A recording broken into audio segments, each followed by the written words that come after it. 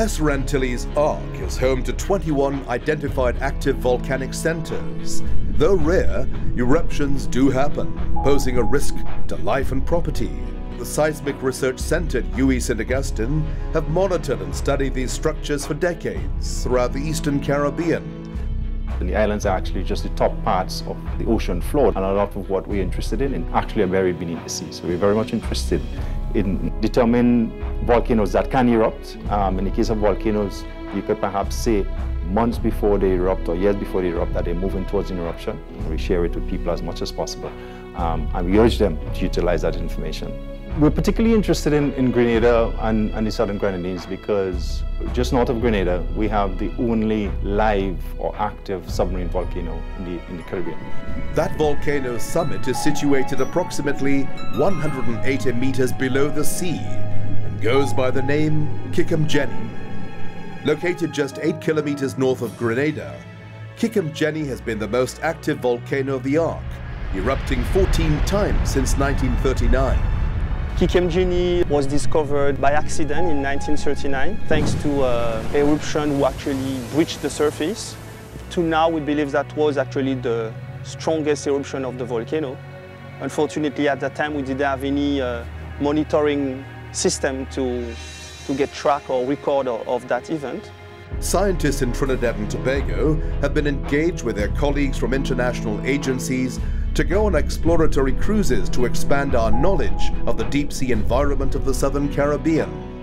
A scientific cruise is a gathering of physical and chemical oceanographers, geologists, biologists, seismologists, engineers, and many more. They work around the clock in cramped quarters to gather data, samples, and specimens, which are then shared among partners worldwide. One of these partnerships resulted in an expedition by the exploration vessel Nautilus in 2013 and 2014.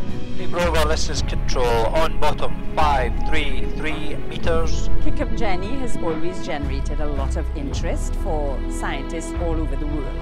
So Kick 'em Jenny was actually the location that they were coming to initially. Participants are generally invited from the territories where the vessel is actually going to be exploring. So in 2013, myself and Dr. Frederick Dondin, he's from Guadeloupe and he is based at the Seismic Center here in Trinidad and Tobago, we were both invited on board. Thanks to the EV Nautilus and the Ocean Exploration Trust, scientists were able to unravel some of the secrets of this subsea volcano, sending live images to colleagues, stakeholders and students around the world. We all know about Kick 'em Jenny and we can't travel our boats through that area, but to actually see it underwater, uh, you know, and watch all the creatures, and they actually found creatures that they hadn't found anywhere else. I sat up most nights uh, just watching this live stream, just waiting for the next thing to be discovered on Kick 'em Jenny. We were able to come up with a very detailed bathymetric map.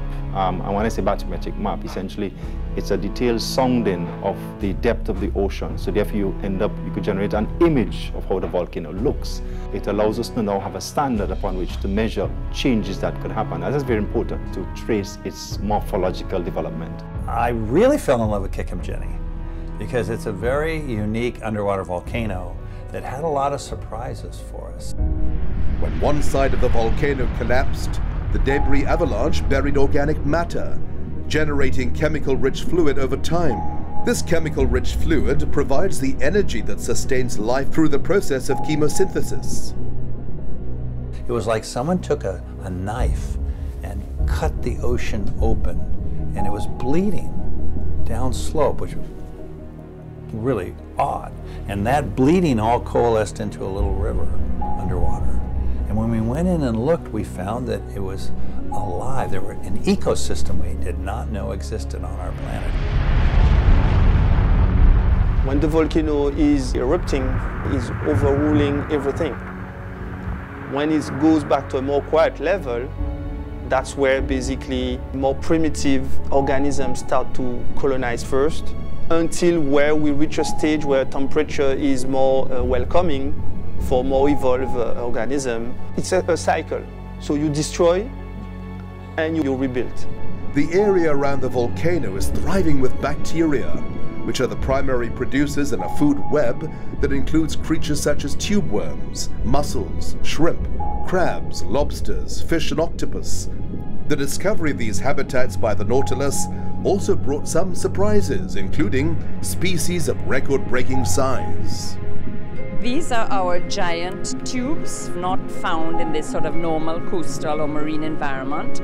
This is one of the phenomena of deep sea biology, where you have this gigantism. These are the very large Bathymodiolus mussels.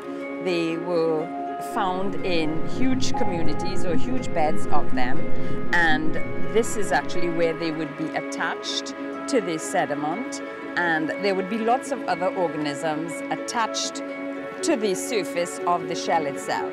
It was quite large and we are very excited to say that it's on record the largest specimen ever found.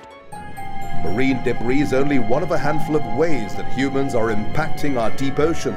Climate change, ocean acidification, fishing, mining, oil and gas extraction are just some of the threats that the deep seas are facing. As we admire the beauty of the deep sea and recognize its value, it is up to us as humans to honor our responsibilities of stewardship. In the deep sea, there are no borders. Um, there are no barriers in the ocean. Um, we tend to think of ourselves as separate islands, but that is not the case in the ocean. And so when we're thinking about, you know, deep sea protection, deep sea management, we really need to have a, a regional scope, even possibly a global scope. And so we, it's really, really important that we, you know, um, manage to equip locals with that knowledge so that they can help to sustain our deep ocean.